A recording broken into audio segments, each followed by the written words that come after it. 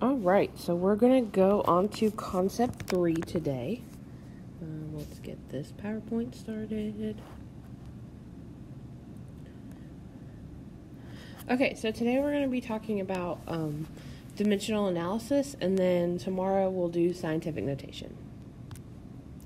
So, dimensional analysis is a technique of converting numbers into different units without changing their value right? This is useful when baking or cooking, traveling to countries that use different units than us, um, building, engineering, um, lots of different things. So, this is done by multiplying given numbers by their conversion factors in order to get numbers into their desired units.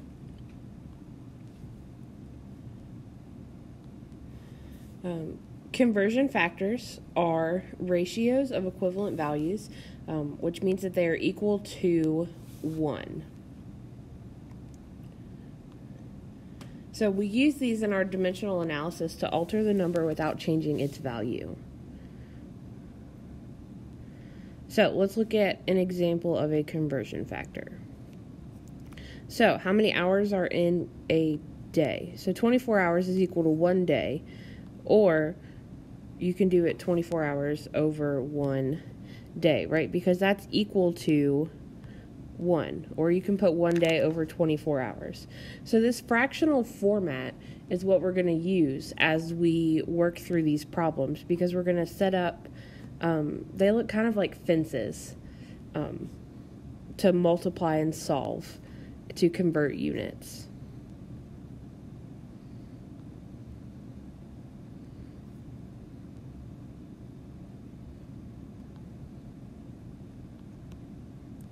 Um, so let's look at a second example of a conversion factor. So you know that 12 inches is equal to 1 foot, or you can say 12 inches over 1 foot, or 1 foot over 12 inches, right? Because remember when you have a fraction, right, when you have the same value on the top and bottom, it's equal to 1, right? So that still applies, even though the numbers are different. Based off their units, we know that those are the same the actual length of those two things, whether we say it's 12 inches or one foot, are the same thing. They're equal to the same amount of length. So, what would be conversion factor for days in a week? Right, so we have seven days is one week. So you would write that as seven days over one week, or you could write it as one week over seven days. So let's apply this into a real problem.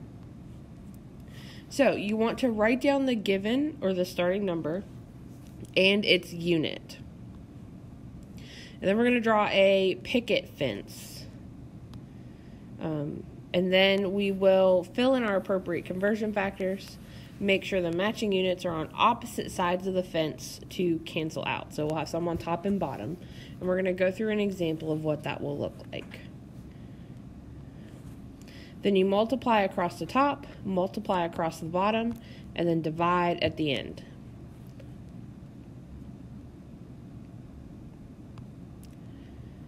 So, let's apply this method and convert seconds to a year or one year to seconds. So we have one year, right? So we're going to kind of, this is the top bottom part of our fence. Um, so first, let's go from years. All right, I tend to just fill in one thing at a time because I never know exactly how many of these. Oops. Know how many of these little things I'm going to need. So I always just go one at a time and then fill in my stuff. But you can draw them out ahead of time too. Okay, so you always want to put, if you start with one year on top, you need to have one year on the bottom of your next one because you need to be able to cancel out your units as we go along. So if one year starts here, we have to put it here as well. Right, so let's go from years to days. So we're going to slowly work our way down into seconds. Right, because I don't know about you guys, but I do not remember how many seconds are in a year. That's not one of those facts that I have memorized. Okay, so we know that there are, in a normal year, right, we're not talking leap year, um, there are 365 days. So we have 365 days to one year.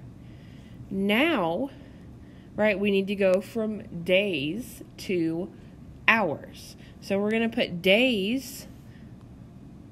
Oh, well, we got to cancel out our year, right? The numbers stay, but the units cancel. Now we're going to go from days to hours. So we have to put one day at the bottom because we've got to make those days cancel just like we did our years. And then we know that there are 24 hours in one day. All right, and then our days cancel. Right now we need to go from hours to minutes. So one hour has 60 minutes. And then we're going to go from minutes to seconds. Right, so we cancel our hours. Then we have minutes on top, so we need to put minutes on the bottom. And then we know one minute has 60 seconds. So now that we cancel our minutes, so we've got the unit we have left is seconds, and that's what we're trying to get to. So the one that you have at the top at the end should be the one that you are trying to convert to. Okay, and then now we're going to multiply across the top. So we're going to do 1 times 365 times 24 times 60 times 60 to get 31 million 536,000 seconds. Right, and then on the bottom we have 1 times 1 times 1 times 1 right, which is just 1. So you would, if there was a number on the bottom other than 1, you would work that division out. But since we're dividing by 1, we know that the top is going to stay the same. So that is our final answer for how many seconds are in one year.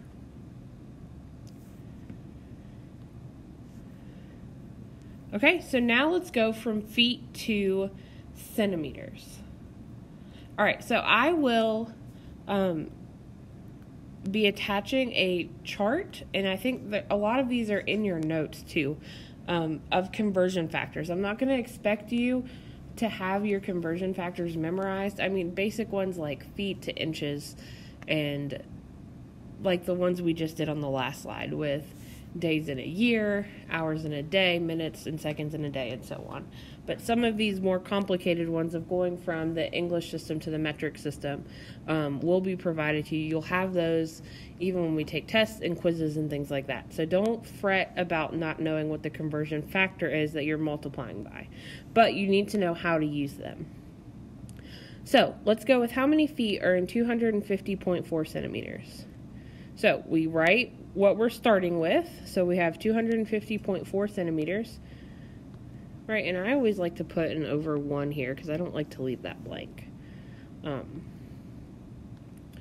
so, um, the conversion factor for centimeters to inches is 1 inch is equal to 2.54 centimeters.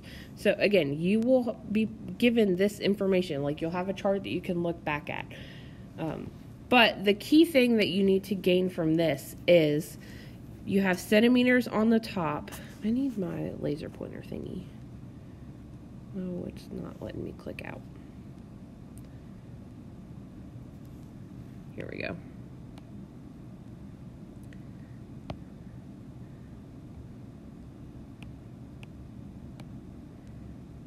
Okay, well.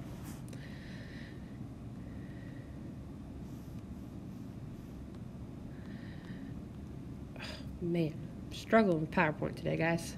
All right, so the key thing is that you have centimeters on top, so your centimeter part of your conversion factor has to go on the bottom. They need to be diagonal from each other. So if you've got one on top, you have to have one on the bottom to cancel it out. So that is the key here is that when you put that conversion factor of 1 inch to 2.54 centimeters, the centimeters has to be diagonal. You don't want two centimeters beside each other on the top or the bottom.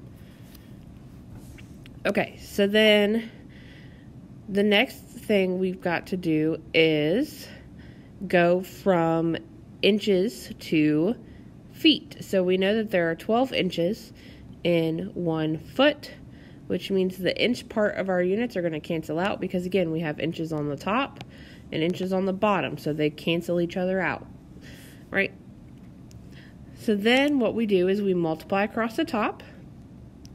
So on top we have 250.4 times 1 times 1. On the bottom we have 2.54 times 12, which gives us 30.8. 30.48, I'm sorry. Then we're going to divide those two numbers, which gives us 8.22 feet.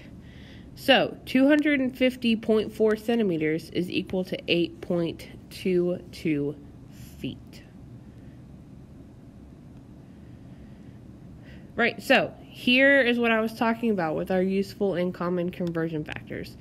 Um, if I'm not mistaken, this chart is already provided for you in your notes, so you don't have to copy it down. And I will also be providing, um, so on this formula sheet that I'll give you guys when we come back next week, um, it'll have the conversion factors on the top and lots of blank space on the bottom for you to write in formulas as we go through the year. Okay, so I want you to take a minute and practice setting up these conversions.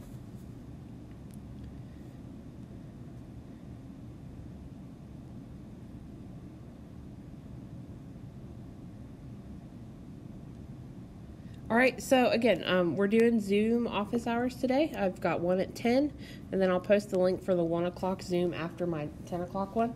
Um, so if you want to go through and check these before you do your other homework, um, we can definitely do that. So just practice setting up the bridges. Remember, you can use this information, right, and make sure your units are diagonal from one another. Okay, um, so this will give you the answer. So you should have gotten 0.951 gallons for number one. Number two is 1.32 pounds.